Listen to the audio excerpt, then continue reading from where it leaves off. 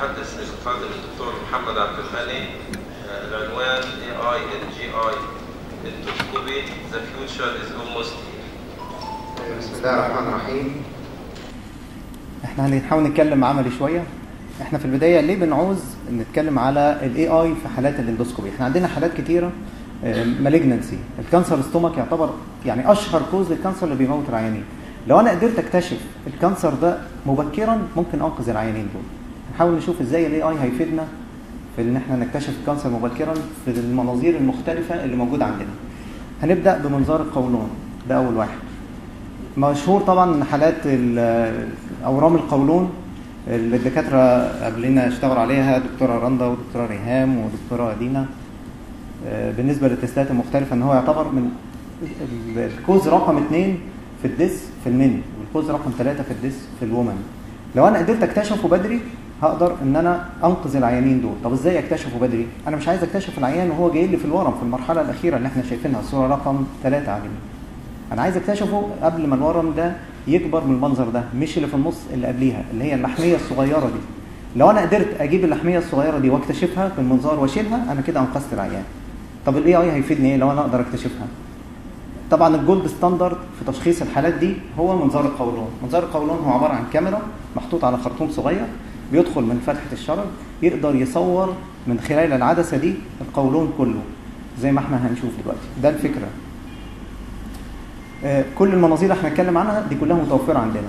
اللحمية الصغيرة دي لو أنا قدرت أكتشفها بدري ممكن إن أنا بالمنظار أعالجها ودي ميزة عن ال test إن أنا أروح شايلها وقصصها كده أنا أنقذت العيان. طب ال AI هيفيدني في إيه؟ تعالوا هنشوف المنظار ده. هل أنت تقدر تشوف اللحمية؟ موجودة أهي. حد شايفها؟ مش باينة؟ ده استخدام ال AI هيقدر يحددها لك هي فين. لأن أنت ممكن هي تبقى صغيرة لدرجة إن هي تعدي عليك وما تشوفهاش. ده كمان مش واحدة بس ده في واحدة تاني. اهي قدام. هيكبر بالمنظار ويجيب عليها. نعم. لا بقول عشان كلهم مش موجودين عندنا فكلهم جايين من مواقع أجنبية. فاستخدام ال AI في حالات ال colonoscopy يبدأ برقم واحد هو ال detection إن أنا أقدر أعمل ديتكشن للليجن وده اللي إحنا هنسميه ال CAD اللي هو ال computer aided detection لأن في مصطلح تاني هيجي بعد كده زي ما إحنا شايفين أدي منظر المنظار وإحنا شغالين. لو أنت قادر تشوف اللحمية دي هتنقذ العيان. لو هي missed منك وقلت للعيان إن أنت ما عندكش حاجة هيجي لك بعد كده بورم كبير ما تقدرش تعالجه لو أنا قدرت أكتشفها بدري وأنا كده أنقذت العيانين وممكن ما تكونش واحدة تكون أكتر من واحدة. سهل إن يبقى miss lesion سهل إن أنت من التعب والإرهاق وشغل الحالات الكتيرة والحالات والحاجات دي صغيرة جدا إن أنت تقدر تعمل لها detection إحنا مش بندور على الحاجات الكبيرة السهلة. إحنا بنحاول ن detect ال most small lesion عشان تقدر تشيلها بدري وما تستناش إن العيان يجي لك ب tumor كبير. يبقى ده مصطلح ال detection هل ال AI يتوقف عند ال detection لا. ال polyps دي أنواع مختلفة اللي هي اللحميات الصغيرة. في منها حاجات التهابات. دي ممكن أستغنى عنها مش لازم أشيلها. في حاجات تاني دي أورام لو أنا سبتها ده هيكبر يبقى ورم في حاجات تاني آه، هي عبارة عن benign tumor يعني ال tumor مش هيقلب malignancy بعد كده. هل ال AI يقدر يفرق الحاجات دي من بعض؟ آه ده دخل في جزء تاني اسمه ال computer aided diagnosis هو يقدر يقول لك ال classification بتاعت ال polyp اللي انت شايفها دي تقع تحت انهي category زي مثلا المنظر ده هيقول لك ال polyp دي بالنسبة لبعض ال classifications اللي موجودة عندنا تعادل مثلا ال classification الفلاني والفلاني وده أقرب إن هو يكون ورم عشان كده تفكر إن أنت تشيله. في حاجة أكتر من كده إن هو كمان بيحدد لك ال size وعلى أساس ألوان مختلفة يقدر يقول لك إن ده mostly هيقلب malignant باللون الأصفر. لو أنت شايفه أخضر ده mostly هيطلع benign يعني ممكن إن أنت تستغنى عنه. ده شيله وارميه لكن ده شيله وحلله. فالنقطة دي دخلت في إن هو يقدر كمان يحدد ال therapy. يعني يقول لك هتمشي إزاي في خطة العلاج. ودي ال category الثالث اللي هو ال computer aided therapy. في حاجات تاني يقدر يعملها إن هو يقول لك ال quality assessment هل المنظار اللي انت اشتغلته ده كان كويس ولا لا؟ لأن منظار القولون بتقابلنا فيه بعض العقبات إن المريض ما يكونش متحضر كويس. فهو بيجي يحسب لك التحضير بتاع العيان. هل لسه في فضلات باقية موجودة؟ يقدر يقول لك إن العيان ده تحضيره أقرب إلى كذا في الجزء ده. يقدر يقول لك كمان سرعتك في سحبة المنظار. لو أنت سحبت المنظار ده بسرعة هيديك مؤشر ناحية الأحمر. خلي بالك أنت كده ممكن تفقد ليجن لو أنت سحبت بالراحة وبدأت تبص جزء جزء هيدي لك مؤشر إن أنت ماشي في المعدل الكويس للسحب عشان يقدر يحسن من أدائك إن أنت تدور على اللحميات الصغيرة دي وتشخص الأورام بدري. أكتر من كده ممكن يعمل لك virtual 3D image يقول لك الجزء ده أنت فحصته الجزء ده أنت شفته كويس الجزء ده عدى منك. بعد شوية يعمل لك شكل ثلاثي الأبعاد ويوريك فين الجزء اللي كان blind عندك وانت ما شفتوش. زي المنظر ده. يعني الجزء ده بالكامل ما اتفحص وانت طالع. أكتر من كده ممكن يقدر يعمل لك generate لل report ودي يعني حاجة زيادة إن هو يعمل لك analysis للي انت شايفه ويعمل لك الحاجة دي. هل هو ده مفيد بالنسبة لنا؟ طبعا مفيد. هيحسن معاك ال adenoma detection rate إن أنت تقدر تكتشف اللحميات دي بالنسبة للدكاترة اللي شغالين مناظير. هيحسن الأداء في في المستشفى هيخلي العيان ده ما يحتاجش إن هو يعمل عملية. إن أنت تشيله القولون بعد كده لما يجي لك بورم إن أنت تقعد تديله علاج كيماوي. لو أنا اكتشفته بدري مش محتاج إن أنا أعمل كل ده يحسن حياة العيان. بدل ما يطلع بعملية كبيرة يعملها بمنظار يعني تبقى أموره أحسن. هيحسن من من أداء ال ال ال system ككل من ال burden بتاع الفلوس اللي بتتصرف على العيانين دول. لو أنا بس بمجرد إن أنا قدرت أعمل detection بدري. هو لا يتوقف استخدامه في منظار القولون على كده بس عشان الوقت مش هنقدر نحكي كل حاجة لكن في حاجات تاني زي التهابات القولون والقولون التقرحي وإزاي يقدر إن إحنا نستخدمها في ال diseases المختلفة في القولون. ننتقل لجزء تاني وهو ال diseases بتاعه ال gastro gastroscopy اللي هي المعدة والمريء الكلام اللي زي كده بمنظار المعدة. هو إزاي يقدر يفيدنا في الحاجات في منظار المعدة؟ رقم واحد هنبدأ بال diseases اللي موجودة في المريء. أنا هختار واحد بس من كل واحد عشان ما فيش وقت نحكي في كل حاجة. أشهر حاجة في المريء عندنا اللي هو ال Barrett esophagus الناس اللي عندها زي ارتجاع مزمن أكتر من 8 سنين أو 10 سنين عرضة إن بعد كده ممكن يقلب بورم طب أنا لما أجي داخل بالمنظار هشوف المنظر اللي قدامي. طب أنهي فيهم ده ممكن يكون ده تقرح ممكن يكون ده في ورم أنهي فيهم اللي مشكك؟ هل ال AI هيقدر يفيدني؟ إحنا بنعمل إيه طيب في الوضع العادي. في الوضع العادي انت بتضطر تستخدم صبغات مختلفة. معظم الصبغات دي للأسف مش متوفرة في مصر. صعب إن أنت تدخلها لأن مفيش موافقات عليها لكن بره هم بيستخدموها. لو أنا قدرت أدخل ال AI يقدر هو يشوف أنهي جزء في المريء اللي أنا متوقع إن هو ده ال most probably إن في بداية ورم هو بيقدر يعمل لك mapping لكل ال image الموجود يعمل screen يعمل مسح. لحد وأنت طالع هيجي لك كل ده Barrett. لكن الجزء ده اللي هو بدأ يحدده هو ده اللي ممكن يقلب بورم هيبدأ يدي لك بإشعارات معينة بشكل ال lesion بال يعني هيعمل لك في الآخر size لكل ال lesion اللي هو متعلم بالأصفر ده ويقول لك هو ده اللي أنت تاخد منه ال biopsy. هو يخليك حتى targeted لما تاخد عينة ما تاخدش من أي حتة. خد من الحتة دي هي اللي في الأغلب هتطلع لك التشخيص. ده فيما يخص ال Barrett. آه نقطة تاني برضو في استخدام ال AI في منظار المعدة إن بيحدد لك أنت فحصت إيه؟ ال anatomical classification خلي بالك في أجزاء عندنا في المنظار بتبقى blind يعني ممكن أنت الجزء ده سهل تعديه وما تشوفوش. هو بيقدر يقول لك أنت فحصت كل الأجزاء ولا في أجزاء أنت سبتها. النقطة الثالثة يقدر يشخص لنا بعض الأمراض وإحنا شغالين. إحنا بنتكلم على real life تشخيص. يعني مش مستني آخد عينة وأبعتها واستنى تقرير بعد أربع أيام. ممكن وأنا شغال يقول لي. هل ممكن يقول لي إن في جرثومة المعدة وأنا شغال؟ ادي منظر منظار وهو شغال يقدر يعمل freeze ويعمل scan يقول له المعدة دي سليمة ما فيهاش حاجة دي not infected ده منظر منظار تاني وهو شغال بيبص على ال lesion بيعمل freeze يشغل الجهاز يقول له اعمل لي scan يقول له ده في current infection probability 95% إن ده في current infection ستادز AI ده مثلا عيان خد علاج. فهو بيجي يقول لك آه ده كان فيه post eradication يعني هو ده خد علاج وخف ومفيش infection حاليا. يبقى ال AI قدر يحدد لي هل العيان ده مش infected أصلا ولا هو infected دلوقتي ولا خد علاج ده post eradication لا يتوقف الاستخدام عندي هنا. وده المهم بقى بالنسبة لنا. هو بيقدر يعمل detection لل tumor بالعكس ممكن يفرق لك ال tumor من الالتهاب. لو جينا نتكلم على اللحميات اللي هي موجودة في المعدة بشكل عام جيت أقول مثلا هشغل ال AI عشان يعمل لي detection وأنا شغال. وهو شغال كده بيبص هي هيلاقي ان في جزء مثلا في lesion أو إحنا بنقول في زي قرحة هو بياخد بيروح معلم له عليها بيقول له خلي بالك ده tumor بيعلم على الجزء ده. ال tumor مش لازم يكون حاجة depressed لا ممكن يكون حتى حاجة raised above the surface يعني هو شايفها مرتفعة شوية عن سطح المعدة العادي هيقدر يعمل لها detection ويقول لك الأجزاء اللي هي موجودة.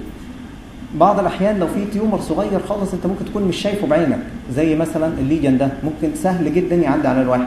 هو بيعلم له عليه ده في lesion هنا حتى لو أنت جيت تاخد عينة خد من الجزء ده هو أحسن جزء يدي لك نتيجة. يبقى ده بالنسبة لل stomach لما قارنوا ال- الدكاترة اللي هم شغالين مناظير وبيشوفوا ال lesions المختلفة آه، في تفاوت بين كل واحد والتاني. لو واحد لسه بيتعلم بيبقى مستواه تحت.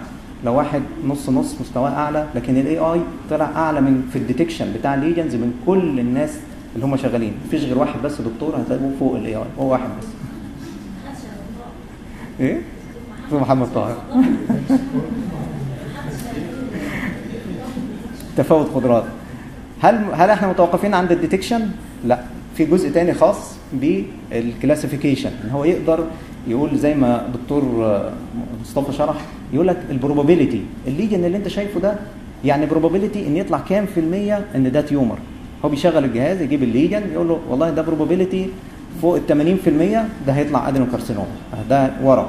probability 75% probability 60% طب لو ال lesion ده مش ورم يعني هو اللي شايفه ده مش قادر يحدد إن ده في الأغلب طالع قرحة هيروح يقول له والله ال lesion ده آه، ulcer مثلا زي الجزء ده. هو بيقول له ده not a tumor يعني هو مش هيقول له ده tumor هيقول له low confidence إن ده مش tumor هو بيدور هل ده tumor ولا مش tumor yes أو no و probability وخلاص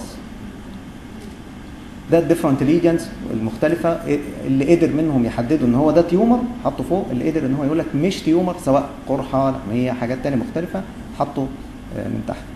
بالإضافة طبعا هو يعمل لك surface marking يقول لك ال lesion ده ال size بتاعه كام حتى لو جيت تشيل بعد كده شيل كل الجزء ده عشان ال safety margin إن ما يحصلش recurrence بعد كده. ناخد أنا آه هجيبهم هجيبهم في الآخر. بالظبط. آه، ما هو ده في برنامج بيجمع الثلاثه مع بعض. ال artificial intelligence في من- من- المنظار الثالث معانا النهارده اللي هو مناظير القنوات المرارية. هل ممكن نستخدم ال artificial intelligence في القنوات المرارية؟ في أبحاث كتيرة في الموضوع ده تبدأ بشكل ال papilla اللي إحنا بندخل فيها عشان نعمل لها cannulation يقدر يحدد لك مكانها. طب أنا مكانها بالنسبة لي سهل. لكن هو يقدر يقول لك مين فيهم اللي difficult cannulation يعني يقول لك في الأغلب إن ده difficult وإن آه ان إن ممكن ما تقدرش تعدي منها. تحتاج حد expert أو تحتاج another procedure في جزء مهم خالص إن المنظار القنوات المرارية ده بيشمل حاجتين. يشمل يشمل جزء منظار والجزء الثاني أشعة. فهو بيجي يقول لك إزاي نحافظ على كم ال radiation اللي أنت هتتعرض لها. إن النقطة اللي أنت بتركز عليها في الفحص هو بياخد النقطة دي وي- وي- ويركز عليها في الأشعة ويخلي الجزء الباقي يقلل ال radiation سواء اللي هيتعرض له العيان أو اللي هيتعرض له الدكتور. الجزء الثاني برضو اللي خاص بال ERCP إن هو بدأ دلوقتي دي ال paper دي لسه جديدة آه، بتتكلم على إن يقدر يشخص لك ال lesion اللي أنت شايفه ده ورم ولا مش ورم لكن الفيديو بتاعها لسه مش available نيجي للمنظار الرابع اللي هو منظار الموجات فوق الصوتية. ده عبارة عن من probe سونار متركب على المنظار من قدام بيدخل من المعدة ويقدر يفحص بالسونار الأجزاء اللي موجودة في البطن. في أبحاث كتيرة بتقول إن يقدر يحدد لك ال lesion يعني مثلا زي الحالة دي يقول لك إن ده ورم أو يقول لك إن إن ال lesion ده هيطلع hard يعني most probably إن يكون ده tumor أو يعمل لك target لل biopsy اللي أنت هتاخدها يقول لك والله خد من الجزء ده هو ال most probably hard part اللي هيطلع لك نتيجة بعد كده. الأبحاث في الجزء ده يعني شغالة آه، حتى في التفرقة بين الالتهابات وبين الأورام لكن مفيش حاجة أقول proof لحد دلوقتي. المنظار الأخير معانا اللي هو ال capsule endoscopy في منظار صغير عبارة عن كبسولة بيتحط فيها كاميرا آه، بيبلعها المريض آه، بتصور كل الجهاز الهضمي الموجود من أول المريء والمعدة والأمعاء والقولون. طب هستفيد إزاي في ال artificial intelligence هو الكاميرا دي بتاخد من صورتين ل 10 صور في الثانية الواحدة وبتصور بزاوية يعني 170 درجة على الأقل. تصور كل الحاجات اللي إحنا اتكلمنا عنها. ومتخيل إن هو بيقعد 12 ساعة يصور. لو في دكتور قعد عشان يقعد يفحص كل الصور دي هيطلع له 500 ألف صورة عشان يقعد يفحصها محتاج أيام عشان في الآخر يوصل لتشخيص. طب آه، هل المريض هيقعد يستنى كل الأيام دي عشان أقدر أنا أوصل لتشخيص من صورة واحدة من دول؟ وسهل جدا تبقى ميزة. هنا يأتي دور ال artificial intelligence هو عليه إن يفحص لك كل الصور اللي جات لك ب data أنت بتعرفها له قبل كده ده شكل قرحه ده شكل نزيف ده شكل كذا وفي الآخر يجمع لك من كل الصور دي مين المهم الخمسة ستة المهمين اللي أنت محتاج تفحصهم في دقائق يقول لك والله آه، أنا عملت لك screen أدي الصور اللي موجودة أدي ال lesions اللي عندنا آه، ده في الأغلب هيدي لك كمان تشخيص هيساعد هيقول لك ده في الأغلب موست بروبابلي إن ده يكون ورم ده في الأغلب لحمية ده في الأغلب قرحة. ده مكان النزيف اللي انت بتدور عليه ده مكان التهاب تقدر توصل لتشخيص في وقت قليل.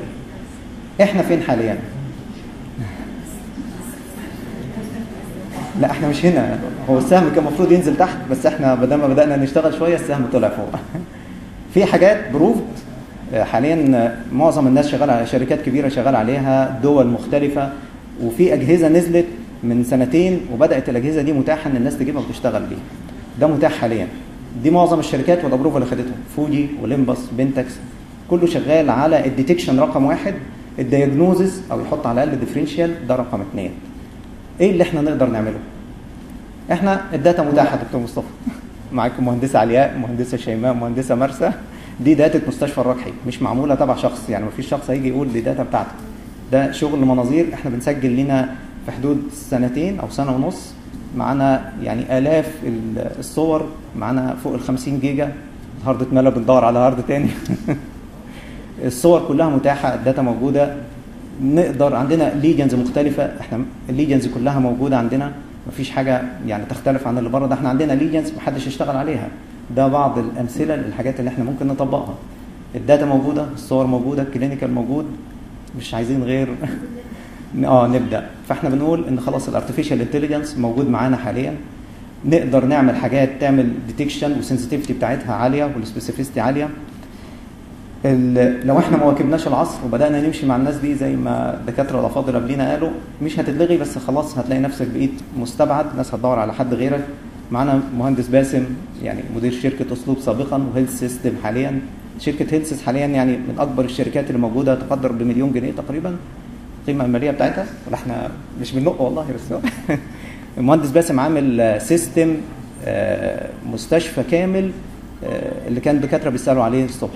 يعني ال system ده أصلا موجود ومتاح سواء كان تسجيل high quality image في ال data analysis كل حاجة. ف يعني عايزين بس نبدأ. شكرا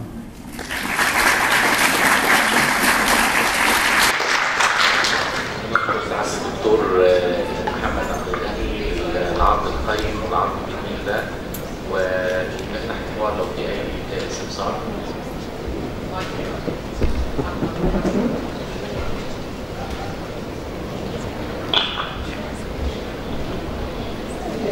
أنا بشكر الدكتور محمد عبد الغني والدكتور رضوان. الحقيقة أنا سعدت بالمحاضرات بتاعتكم جدا كل المحاضرات السابقة. You are promising وأنتوا فعلا مكسب للقسم يعني. أنا ليا comment بس بسيط بالاضافه للحاجات اللي حضرتك قلتها في ال diagnosis وال prognosis والكلام هو for assessment of the trainees يعني حضرتك بتقول لي ده في ال AI هيقول لي ده دخل إمتى ده فحص ده كويس إمتى ده الحته دي ما فحصهاش كويس. فده method for assessment of the endoscopist ده بيديله فرصة انه يصلح نفسه ويراجع نفسه ويشتغل أكتر عشان يصلح. شكرا. شكرا. هو فعلا زي ما حضرتك قلتي هو في جزء خاص بال بال AI في ال training سواء ال assessment سواء ال detection assessment حتى لل لل procedure المختلفه آه، في منظار القولون مشهور خالص موضوع ال looping إن المنظار بيقعد يلف جوه. هو يقدر يقول له أنت فين وإزاي تفك. بس إحنا عشان الوقت مش هيسع نتكلم على محمد يعني هنحاول يعني طبعا إحنا لو ما استخدمناش القعدة دي للمستقبل يبقى في خطأ في غلط. إحنا يعني الفرصه عملتها الدكتور هايدي دي مش عايزين تمر كده وخلاص. لا إحنا عايزين ده يبقى بدايه خطه العمل خطه العمل هتشمل الاتي طب إحنا كقسمنا يعني. هنحدد الحاجات ال- ال- الأمراض اللي عندنا أو في ال procedures اللي بنعملها اللي محتاجين فيها ال artificial intelligence واحد اثنين ثلاثة أربعة خمسة. ماشي؟ دي النقطة الأولانية. النقطة الثانية إن لازم يبقى عندنا حد في القسم interested أنا بسميه كوردينيتور فين؟ الارتفيشال انتليجنس لاب وبين القسم مثلا زي سيادتك أو دكتور رضوان هم interested في القصة دي نمرة ثلاثة بنبدأ ن- هنشتغل على مستوى الأمراض اللي إحنا بنشوفها وهنشتغل برضه على مستوى الأبحاث. فبنحدد برضه ثلاث أربع أبحاث يقدر الناس تشتغل فيها من الصغيرين. آه رسائل آه. آه, آه بالظبط. آه طبعا العكس ممكن. يعني ممكن بس هو الأوقع الأوقع إن يبقى القسم عندنا ناس interested في ال application بنحدد المواضيع وبنبدأ نشتغل. المفروض نعمل اجتماع تاني مثلا مع الجماعه في اللاب مثلا بعد ثلاث أربع شهور ونشوف إيه اللي, إيه إحنا عملناه. يعني نعمل فيه من دلوقتي نتابع ده لو إحنا عايزين نمشي صح. لو مش عايزين نمشي صح يبقى خلاص المحاضرة دي خلصت والمحاضرات دي خلصت ونسيناها وندور على مواضيع تانية ده ده ده الخريطه الخريطه اللي إحنا عايزين نمشي عليها اللي كنا فعلا عايزين نحكي القصة دي. وبعدين إحنا لو ما عملناش كده هنبقى متاخرين لأن العالم كله شغال في القصة دي دلوقتي. فدي فرصة الدكتوره هايدي حطتنا على بدايه الطريق. إن إحنا نبدأ نشتغل شغل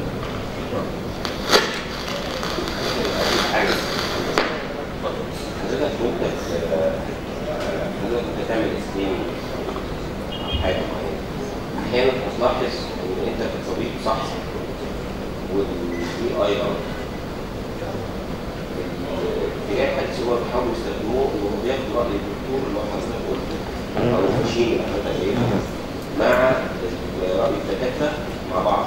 بيتبنى موديل جديد. ومن الموديل الجديد المفروض إن هو يحسن ال accuracy بشكل أكبر. دي معلومة مهمة. إحنا عرضنا الجوانب ال- الإيجابية. في جوانب سلبية إحنا ما عرضناهاش على سبيل المثال مثلا في نفس الفيديو آه، كان في large lesion tumor وال AI not detect ال adenoma وساب ال tumor فهو حتى فضل يرجع كذا مرة يقول لك إن هو ما قدرش يعمل detection ل tumor فهو عمل detection للحاجه اللي هو متعرف عليها. هو بيدور على اللحميه قبل ما تبقى ورم. لكن لما بيجي ورم هو ما قدرش يشوفه. فالموضوع فعلا فيه false positive result بعض مثلا إن المريض اللي مش صايم كويس اللي فيه أكل في المعده بعض الحاجات اللي زي كده فيه false positive result فعلا فهو مش هيستغنى عن الدكتور هو محتاج حد كمان يقيم. النقطة الثانية إحنا عندنا ميزة ممكن نشتغل عليها أكتر من دول زي ما الدكتور شرح. إحنا عندنا في data موجودة في المستشفى clinical. في بعض الأبحاث حاليا بدأت تربط ال clinical باللي هو شايفه بال image لما بيحط الاثنين على بعض هيعمل برنامج جديد. هيبقى يعني أعلى بكتير من اللي إحنا موجود حاليا. مش بس إن يقول detection لده. هيقول مثلا مع التحاليل إن العيان ده عنده انيميا نسبة الدم قليلة في الأغلب ده tumor إن شاء الله.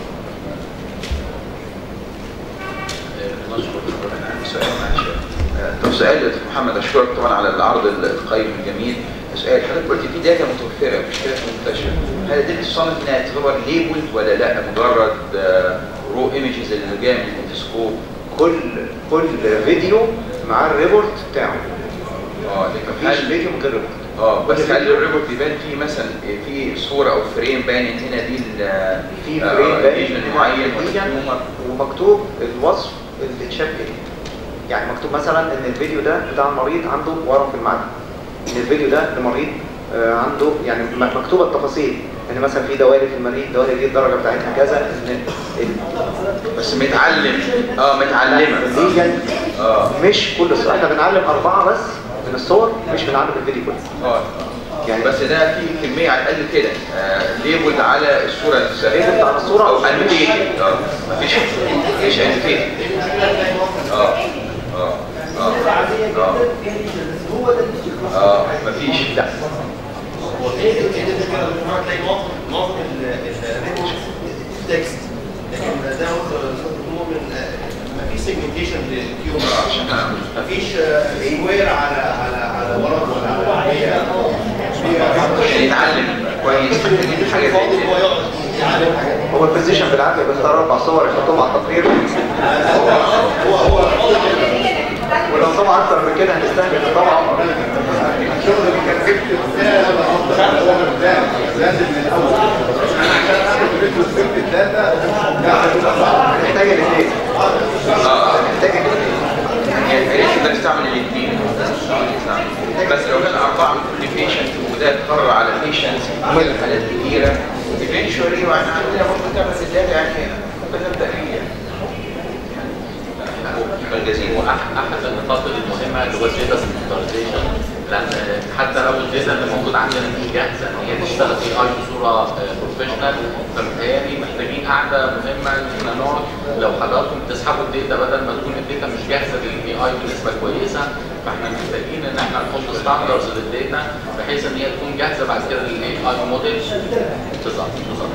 آه، طبعا هو ال AI حتى لو الحاجات دي مش موجودة حضرتك هو ممكن يجي وياخد يعمل report ال report اللي موجود وهو يقدر يعمل detection فيه ويحاول إن هو يسقط الكلام اللي موجود في ال report يسقطه على الصور ففي طرق automated برضه ممكن حتى ال data القديمة يتم احيائها مرة ثانية حتى لو ال data نفسها في حاجة ناقصة ممكن هو يحاول يعملها prediction آه، طبعا بنشكر جدا آه، دكتور محمد وأنا بضم صوتي ليه في موضوع ال prediction مهم قوي إن إحنا مش هنستنى لغاية ما الدنيا توصل للمرحلة المتاخره مع تطور ال IO ال IoT بتاع ده environment وبدأ يكون في عندنا smart devices دلوقتي فإحنا محتاجين نستغل ال data دي أكتر إن إحنا نعمل prediction أكتر